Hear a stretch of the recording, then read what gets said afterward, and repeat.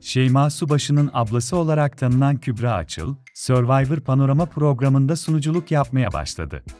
Aslen Samsunlu olan, sunuculuk ve spor muhabirliği yapan Kübra Açıl, kariyerinde Yetenek Sizsiniz ve Survivor ekiplerinde görev aldı. İstanbul Üniversitesi, Besyo mezunu olan Açıl, kamera önünde ve arkasında da görev almıştır.